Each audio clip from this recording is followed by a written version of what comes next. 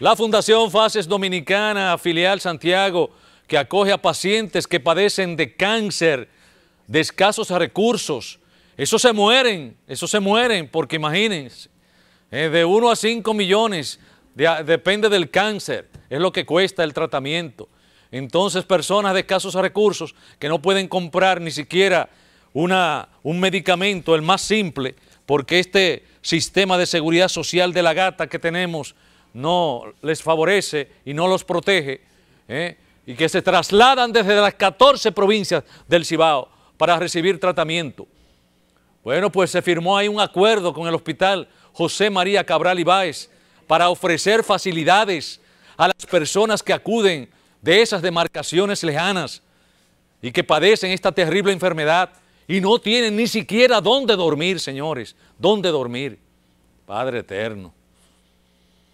Las personas que en verdad necesitan este servicio sean las personas que se acerquen a las casas de acogida para pacientes con cáncer. Y qué mejor que un hospital público, un hospital que es quien recibe y atiende a la población más necesitada. Entonces acuerdos como estos son los que nos garantizan que los servicios lleguen a quienes en verdad lo necesitan. Nos sentimos privilegiados con que ellos no hayan abierto las puertas y con ser parte de este acuerdo, porque este es un acuerdo para servir a quien lo necesita, para servir a la comunidad, a una población muy vulnerable y queremos alcanzar al necesitado. Creando toda una plataforma para poder abarcar más y dar un servicio aquí en la región, porque pueden venir de un lugar remoto de La Vega, de Moca, de, de muchos, porque somos la casa de acogida para la región.